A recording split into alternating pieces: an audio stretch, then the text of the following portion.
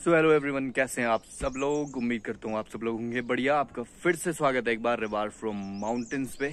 आज मैं थोड़ी सी देर से उठाऊँ करीब नौ बज रहे हैं। और एक काम करते हैं, भूख लगी है तो सबसे पहले करते हैं नाश्ता, आगे की बातें करेंगे बाद में। और आज मेरी माँ बना रही है यहाँ पे प्याज के पटोड़े। तो ये जो प्याज का ऊपरी हिस्सा होता है, ग्रीन वाला, ये उससे बनते हैं। इनको आटे के साथ या बेसन के साथ मैश करके, जैसे पकोड़े बनते हैं, बिल्कुल वैसे ही थोड़ा लिक्विड ही रखना पड़ता है इनको।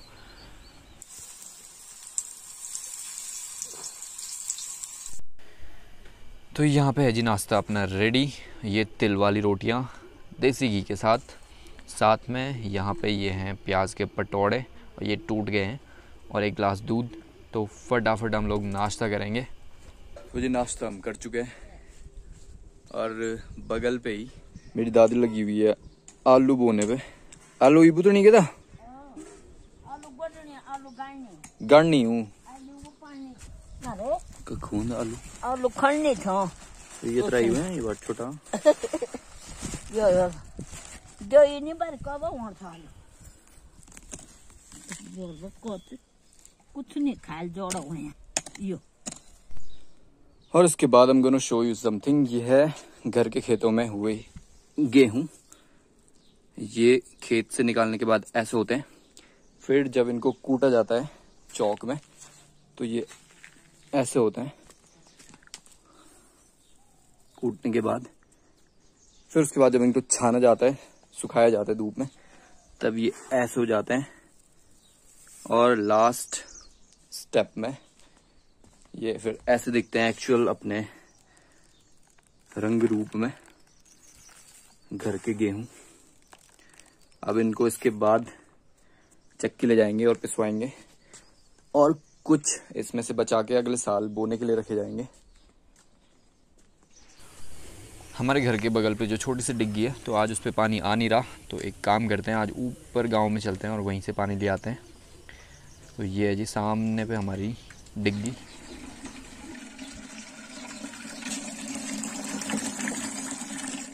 क्लाइमेट चेंज और ग्लोबल वार्मिंग का जो इम्पैक्ट है, वो अब गाँव में भी दिखना स्टार्ट हो चुका है।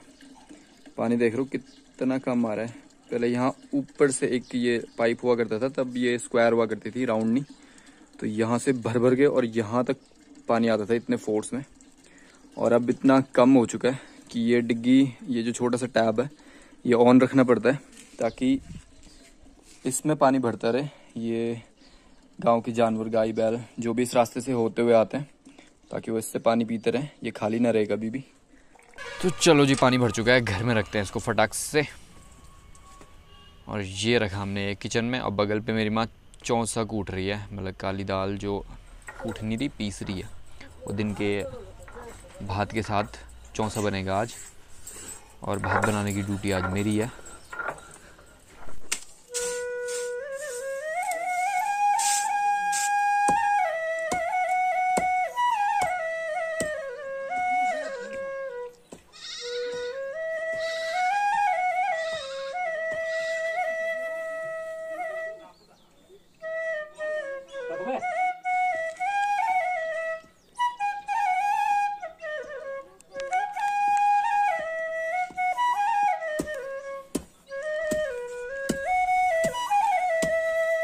साढ़े चार हो रहे हैं करीब शाम के, और भात मैंने खाया नहीं दिन में तो मैं लाया हूँ अपने लिए एक दो मैगी। मैगी यूजुअली मैं बनाता हूँ प्लेन मेरे को ऐसी प्लेन मैगी ज़्यादा पसंद है। तो मैगी खाएँगे, उसके बाद दुआ जाने वाले हैं हम लोग फिर से, दादी के पास। और ये हमारा डब्बू है तो जब भी हम कुछ बाहर पे खा रहे होते हैं, ये बिल्कुल ऐसे बगल पे आके खड़ा हो जाता है कि मेरे को भी चाहिए। एक काम करते हैं थोड़ी सी मैगी देते हैं, इसको देखते हैं, खाते वैसे रोटी के साथ खा लेता है।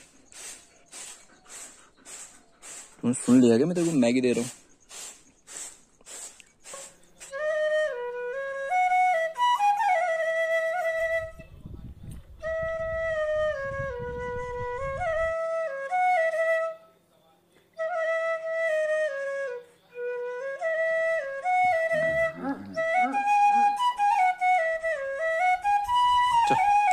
चलो।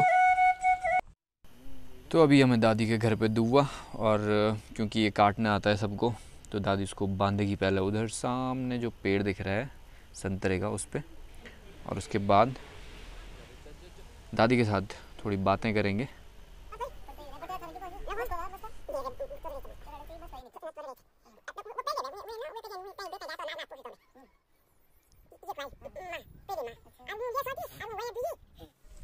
My robot.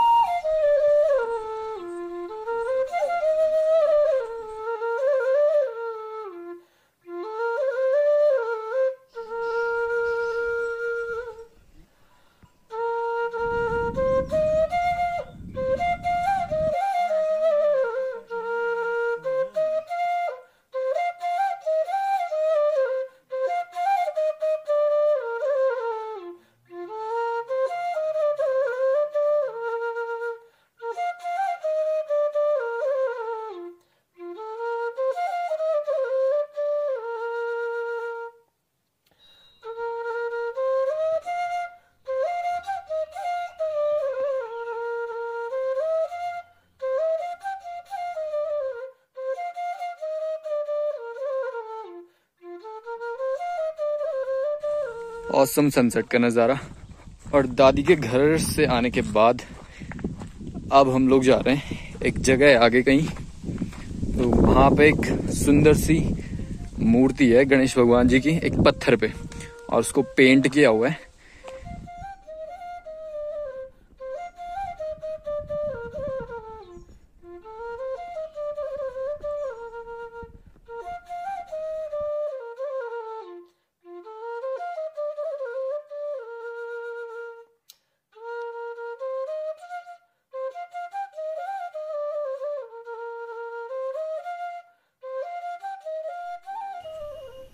तो जी, अंधेरा हो चुका है और ये सामने जो तीन बकरी के छोटे छोटे बच्चे दिख रहे हैं, ये हैं पवन के। ये पवन लाया था बोटिया लोगों से। अब काफ़ी बड़े हो गए हैं और शैतान भी।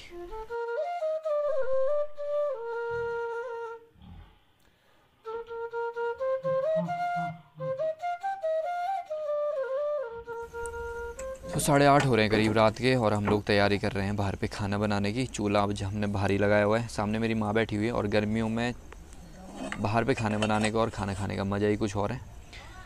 और ये बगल पे मेरी ताई भी बैठी हुई है, रोटी बन रही है सबकी। तो फटाफट रोटी बनाते हैं, रोटी खाते हैं। उम्मीद है आपको वीडियो पसंद आई होगी। लाइक, शेयर, सब्सक्राइब ज़रूर करें।